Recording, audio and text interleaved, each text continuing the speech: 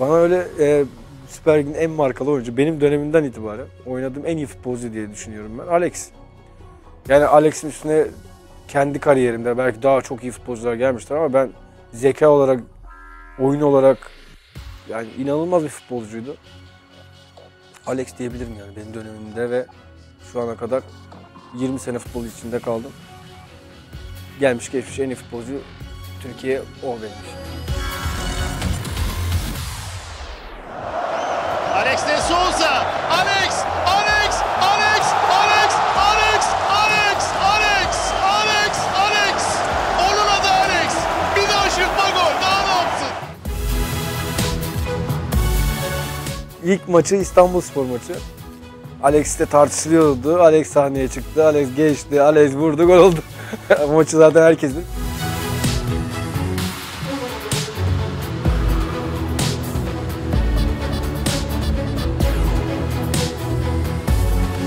Bir de Samsun maçında inanılmaz derecede 3-1 biten, 3-0 mı ya da 3-1 biten bir maç var. Rovaşata'yla. İnanılmaz yani kim o, o şeyde yapamaz yani. İnanılmaz bir gol atmıştı. Ümit. Morello bir kafa top çekti. İkinci pozisyon. Adnan. Alex mükemmel bir gol. Yok böyle bir gol. Yok böyle bir gol. Muhteşem. Muhteşem süper bir gol. Lakabı Beyin diye tatmin edildi. Biz bir Milan maçına çıktık. İşte Costa Curta'lar, işte ne Cafu'lar falan adam işte Brezilyalı işte Serginho'lar falan adamın lakabı Beyin olarak diyorum. Be- bir şey söylüyorlar ne ne? Samet Ağa sordu. Beyin lakabını Beyin olarak çağırıyorlar. Zaten adam harbiden de Beyindi yani. E, Maçın gidişatını her şekilde yani duran top olsun. Ne bileyim bir e, hamlesi olsun, bir şut olsun değiştirebilecek kapasitesi. Zaten bunun istatistik olarak da gelmiş geçmiş en iyi futbolcu olduğunu kanıtlamıştır Fenerbahçe.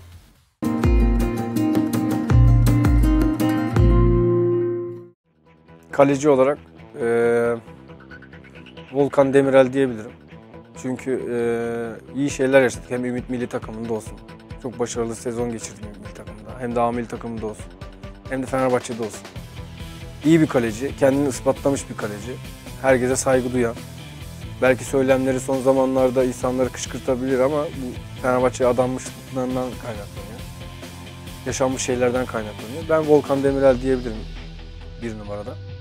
Sabri orta geliyor. Keita kontrol bir vuruş. İnanılmaz bir kurtarış. Müthiş bir şut. Mükemmel bir kurtarış. İki güzel hareket izledik.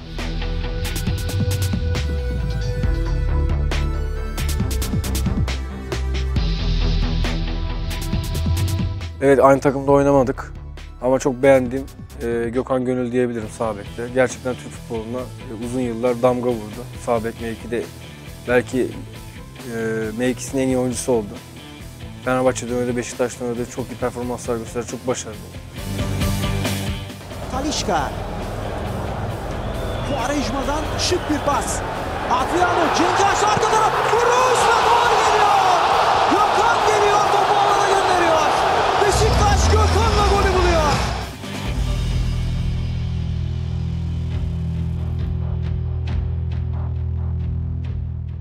Stoper'de demir adam diyebilirim Lugano. gerçekten e, Luciano da diyebilirim, Lugano da diyebilirim ama Lugano gerçekten müthiş futbolcuydu. E, top geçer, adam geçmez, adam geçer, top geçmez. İnanılmaz konsantre ve üst düzey bir futbolcuydu.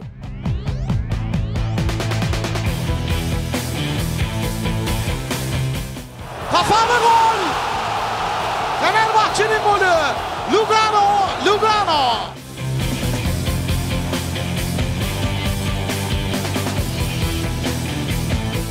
Diğer e, sol stoper diyelim, e, Egemen Korkmaz diyebilirim. 30 yaşında, 29-30 yaşında Trabzon'da tanıştık.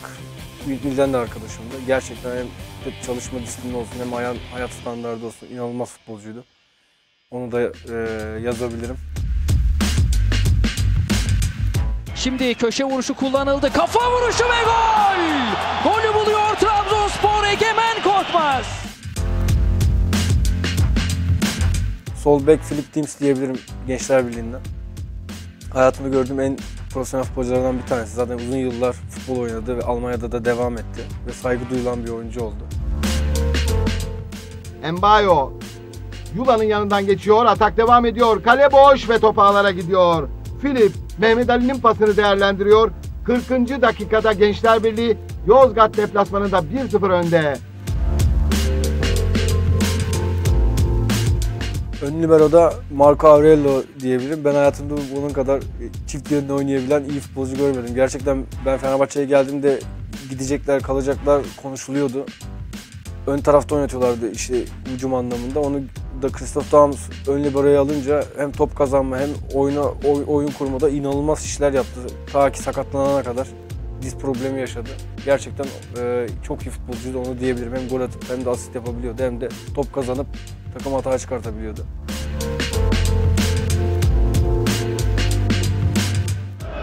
Tuncay Aurelio. Ortada Serhat var. Aurelio kendi topuna gitti. Burhan yanında.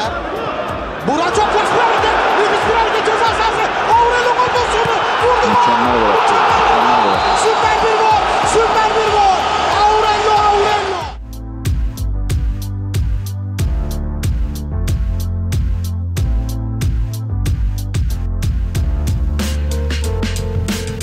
Orta sahada Selçuk İnan diyebilirim. Gerçekten e, onun döneminde de Trabzonspor'da çok iyi top oynadık. İnanılmaz goller attı. Akabinde e, Galatasaray transfer oldu. İlk iki senesi müthiş geçti. Sonra inişli çıkışlı performanslar oldu ama oynadığım en iyi oyuncu ortalardan bir tanesiydi. Selçuk kaleye vuruyor. Mükemmel gol. Selçuk mükemmel vuruyor. 3 oluyor. Müthiş bir şut Selçuk İnan'dan. 3 yapıyor Trabzonspor. 10 numara mevkide Alex tabii ki de. Alex de Souza zaten herkes yazar. O kim onunla oynadıysa veya o dönemin o o o jenerasyonun kim varsa Alex diye yazar. Alex göğüs kontrol. İkinci hareket. Alex inanılmaz bir gol. Süper bir gol. Muhteşem bir gol. Kadıköy'de süper bir gol.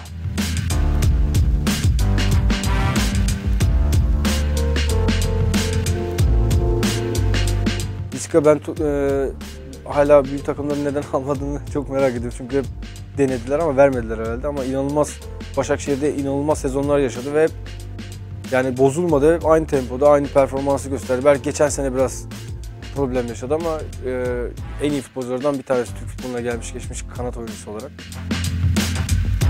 Atak devam ediyor. Vişça cezalarını Vişça vurdu. Muhteşem bir gol. Edin Vişça dar açıdan öyle bir vurdu ki topa. Sol kanatta Tuncay Şanlı diyebilirim.